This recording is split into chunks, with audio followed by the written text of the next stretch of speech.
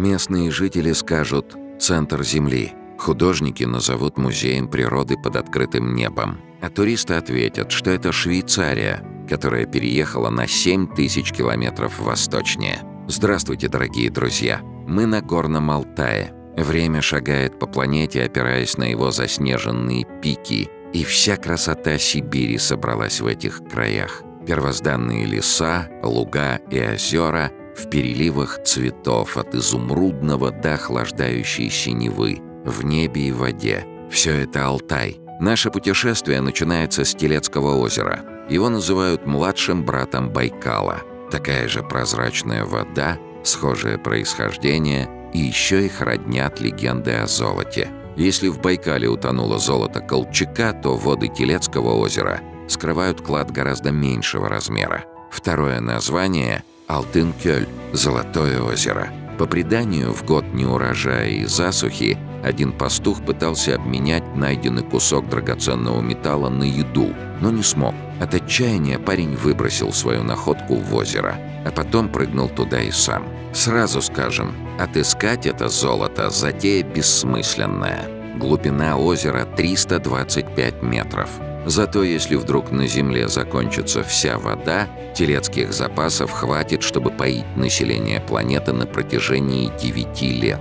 Слышите шум? Это реки, сбегающие с белых вершин, обрываются водопадами. Первый, который мы встречаем на пути — водопад Корбу. Горные потоки, набравшие силу на склонах одноименного хребта, летят с высоты четырехэтажного дома. Это самый известный и доступный для туристов водопад Алтайского заповедника. Обернитесь в сторону озера. В этом месте самая глубокая впадина. Во время прогулки на катере — на Телецких берегах можно встретить медведей, но только не здесь. Название этого водопада Аюкичпес переводится как «медведь не перейдет».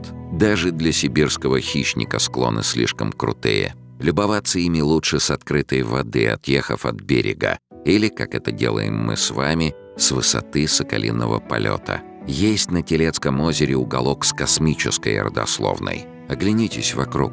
Сколько валунов! Как будто местный бог-великан просыпал детали конструктора. Откуда камни взялись здесь? Среди кедров и сосен. Основная версия — падение метеорита, который разрушился при ударе, и заодно организовал новый залив на озере. Он так и называется — Каменный. А теперь давайте перенесемся на север. Здесь тоже шумит вода, но уже не с таким рокотом. Мы рядом с истоком Бии — это единственная река, вытекающая из Телецкого озера. Ее путь пролегает по территории Республики Алтай и Алтайскому краю. Видите, как вода бугрится, бурлит? Это из-за порогов и очень быстрого течения.